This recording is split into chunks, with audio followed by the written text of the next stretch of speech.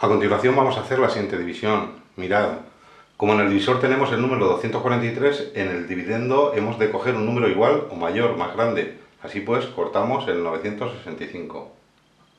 Y ahora hacemos lo siguiente, tapamos las dos cifras de la derecha del divisor y las dos cifras de la derecha del número que hemos cortado, del 965, el 5 y el 6, ¿de acuerdo? Tapamos y tapamos.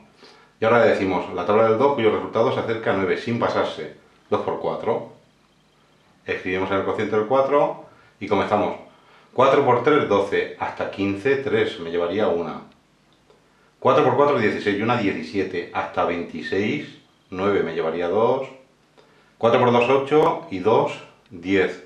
Así pues, a 4 nos pasamos. Entonces, ¿qué es lo que hacemos? Borramos y escribimos un 3.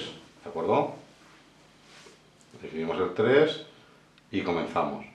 3 por 3, 9. Hasta 15, 6. Me llevo una. 3 por 4, 12. Y una, 13. Hasta 16, 3. Me llevaría una. 3 por 2, 6. Y una, 7. Hasta 9, 2. A continuación bajamos la cifra siguiente, el 8, que la colocamos a la derecha del 236, aquí. ¿De acuerdo? Y ahora el mismo proceso.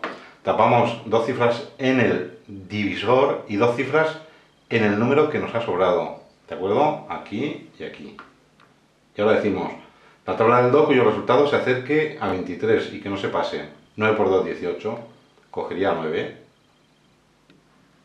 Y ahora, 9 por 3, 27. Hasta 28, 1. Me llevaría 2.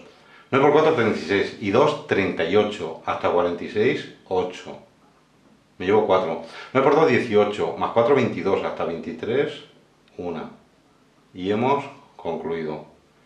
El cociente ha sido 39 y de resto residuo nos ha dado 181.